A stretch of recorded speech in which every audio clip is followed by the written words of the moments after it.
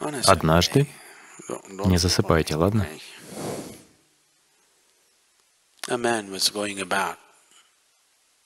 Где-то в Индии, в период сильной жары, один торговец ходил по деревням и продавал шляпы. К полудню он сильно устал и сел под деревом, развернул сверток с едой и пообедал. А вскоре задремал. Когда он проснулся, то с ужасом обнаружил, что все шляпы исчезли. Он огляделся вокруг. Где шляпы? Где мои шляпы? Но нигде не мог их найти. Чисто случайно он поднял голову и увидел на деревьях целую стаю обезьян в шляпах. Он закричал на них. В ответ они закричали на него. Он вопил, он вопил, он бронил их. Они бронили его. Он хватал все, что попадалось под руку, и бросал в них. Они тоже хватали все подряд и бросали в него. От безысходности, не зная, что делать, он сорвал с себя шляпу и в отчаянии швырнул ее на землю. Все обезьяны сняли шляпы и побросали их на землю. Мужчина собрал шляпы и продолжил свой путь. Это случилось в начале 20 века. Шел ноябрь 2009 года.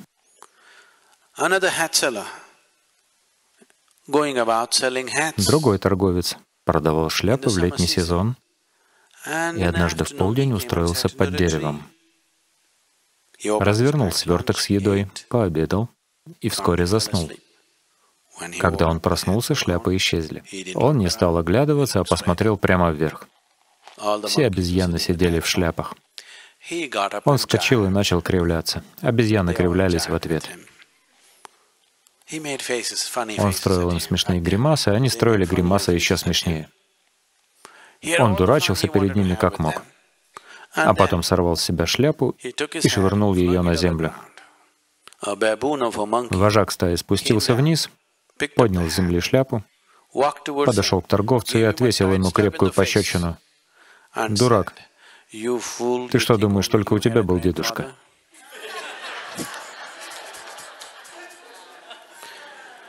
Существуют научные свидетельства того, что эволюция обезьян продолжается.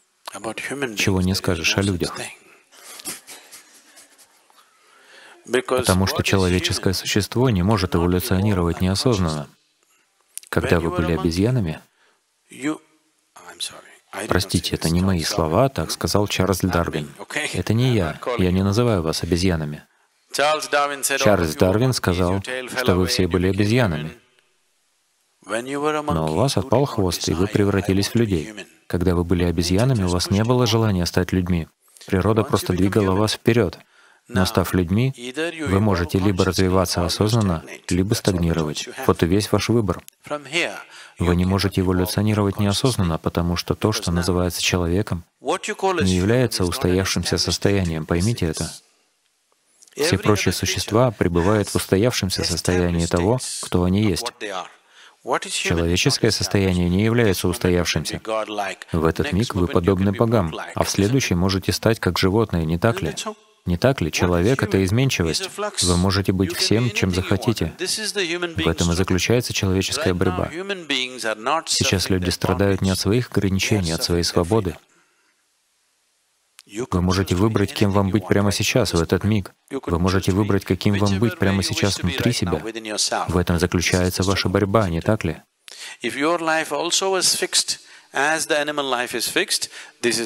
Если бы ваша жизнь была такой же устоявшейся, как у животных, перед вами не стояло бы столько сложностей. Вы не испытывали бы столько боли и страданий, сколько сейчас испытывают люди, не так ли? Посмотрите на тигров. Тигр не задается вопросом, как мне стать хорошим тигром? Как же мне стать хорошим тигром? Может быть, мне поступить в тигриный колледж? Ему достаточно просто хорошо питаться. Если тигр хорошо питается, он станет хорошим тигром, не так ли? Вы не такие, вы родились людьми. Чтобы стать хорошим человеком, столько всего нужно сделать. Что бы вы ни делали, до самого конца вы не знаете, получилось у вас или нет. Да или нет? В социальном плане, в отдельном социуме, глядя на людей, вы можете сказать, по сравнению с этим человеком я лучше. Но сами по себе вы не знаете, насколько вы хороши, не так ли? Потому что человек не находится в устоявшемся состоянии. У всех других существ их состояние неизменно. Если они будут хорошо питаться, то будут собой. Если вы будете хорошо питаться, то максимум ваше тело будет расти. Больше ничего вас не ждет, не так ли? Ко всему остальному нужно стремиться, потому что природа предоставила вам свободу быть теми, кем вы хотите. Прямо сейчас человечество страдает не от ограничений, а от своей свободы. Если вы страдаете от своей ограниченности, это довольно плохо, но нормально. Потому что если вы будете страдать от своей ограниченности, вам захочется стать свободными. Если вы страдаете от своей свободы, это трагедия, не так ли? Не так ли? Когда вы страдаете из-за своей свободы, это трагедия. Потому что как можно избавиться от свободы? Можно избавиться от ограничений, но как избавиться от свободы? Я могу связать себя по рукам и ногам. Пожалуйста, вспомните, как только вы не пытались ограничить себя.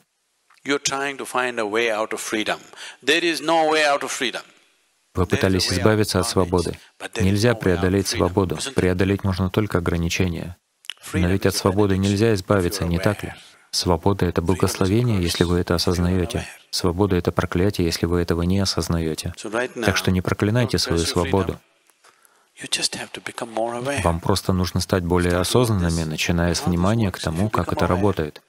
И если вы станете осознанными, свобода окажется для вас чем-то фантастическим. Это так прекрасно. Вы можете быть такими, как захотите. Прямо сейчас, внутри себя, вы могли бы стать такими, как вам хочется. Ни одно животное, ни одно живое существо не обладает такой свободой. Только человек, не так ли? Должны ли мы ею воспользоваться?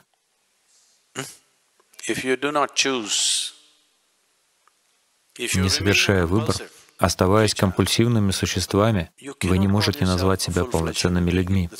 Вот почему я сказал, что это эволюционная проблема. Только когда вы можете делать все по собственному выбору, вы можете сказать «я человек». Потому что человек, по сути, означает, что он выбирает, каким ему быть.